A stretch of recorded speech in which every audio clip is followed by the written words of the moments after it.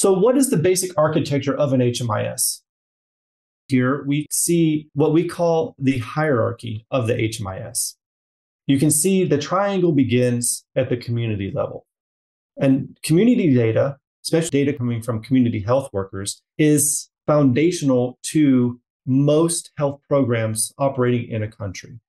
Community health workers are the frontline healthcare workers in many countries, capturing disease data, they're capturing maternal and child health data, they may be capturing data from vulnerable populations. They could be capturing community infrastructure, community health programs. They could be representing many different community groups, for example, traditional leaders, traditional birth attendants, mothers groups, other vulnerable key populations as well. Community health and community health data is very broad. And we want to make sure that that data is feeding in, into the HMIS. The community health data feeds in via what is typically referred to as mHealth or mobile health. These are various applications, SMS reporting, various electronic means, or sometimes even paper that is captured in the community and then feeds into what we call the Integrated Community Health Information System. That the Integrated Community Health Information System is where all of these various community health programs data is brought together. So you get one clear picture of all of the health programs happening within a single community. Maybe it's not a community, but it may be a facility, catchment area, or a community health program. That data is then fed up to the facility HMIS. The facility HMIS is representing all of the community data, but it's also capturing all of the clinical services infrastructure, HR, commodities, resources that are supplied or happening or being provided at health facilities. Going up a level beyond that is the district health information system. We find that in many countries, districts have a very prominent role in guiding, directing, and planning different health programs, ensuring that health facilities have adequate staff that most districts are having some kind of routine planning cycle that should be informed by the facility data as well as the community data. Not represented in the picture here, but it can continue to go up. So from district, different countries have maybe chiefdoms or provinces or regions, and then you go up to maybe national level. And each level has a very specific role. Maybe more data is captured as you go up. We find the most data is captured at the first two levels, the community level and the facility level. From there on, the role is less data capture, but more analytics and data used for planning cycles. The entire structure here, community, facility, and district, is represented in the HMIS. Now, going to the right side of the screen, we see the kinds of data that are reported at different levels.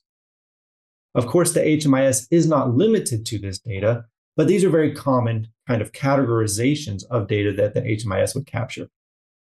For example, we see disease surveillance being a very prominent role for the HMIS and capturing disease data from community, facility, and district levels. Of course, most health programs are providing a broad suite of routine health services. So, for example, antenatal care, immunization, outpatient and inpatient services.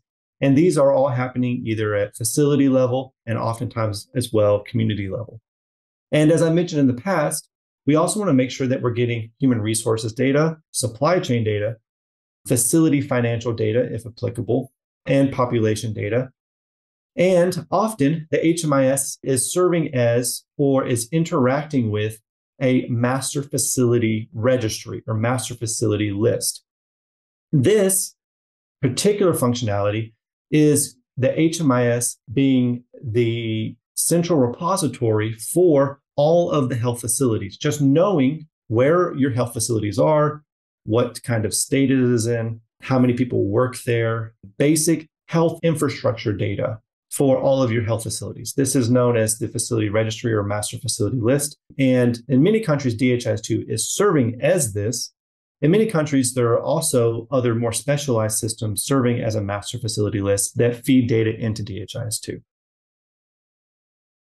So let's take a look at an example reporting flow from community health workers level all the way up to district level. Let's start on the left side of the screen with the community health worker. So, in this scenario, a community health worker receives a patient, and they're receiving patients on a daily basis often.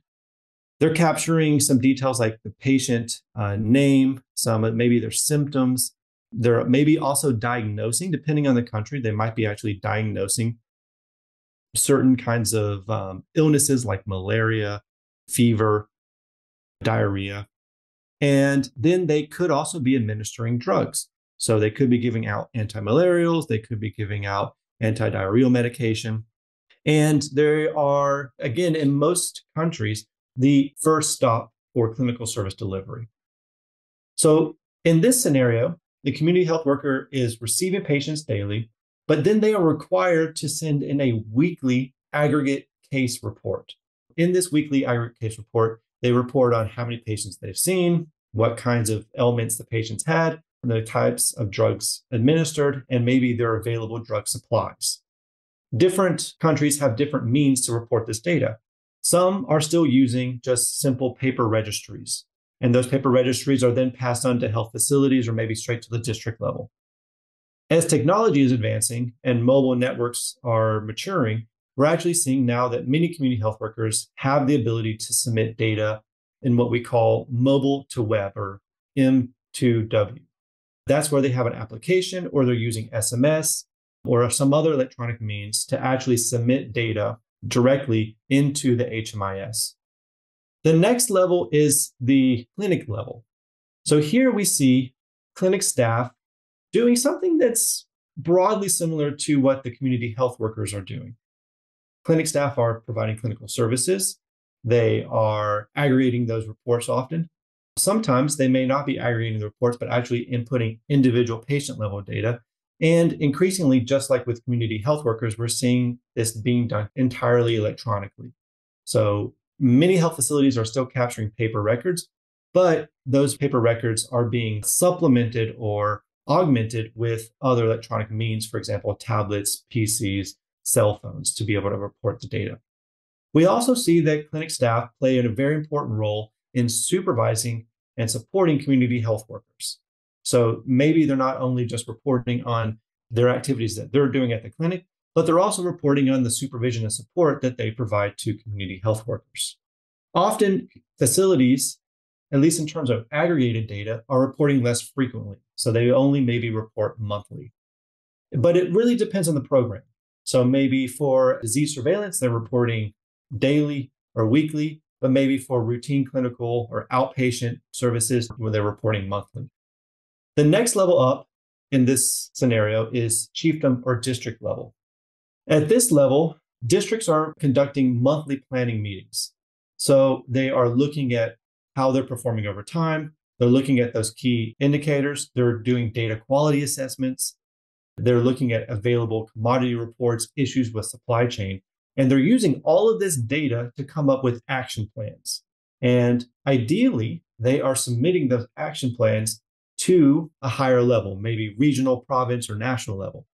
Also, is the best practice that they are submitting those action plans back down to the facility and even the community health worker so that there is good transparency on what the district plans to do at all levels. We often find that in many countries, traditional leaders also play a strong role in the health sector.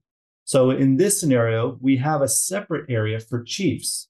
In many countries, especially in sub Saharan Africa, chiefs play a very important role in organizing health programs at community level.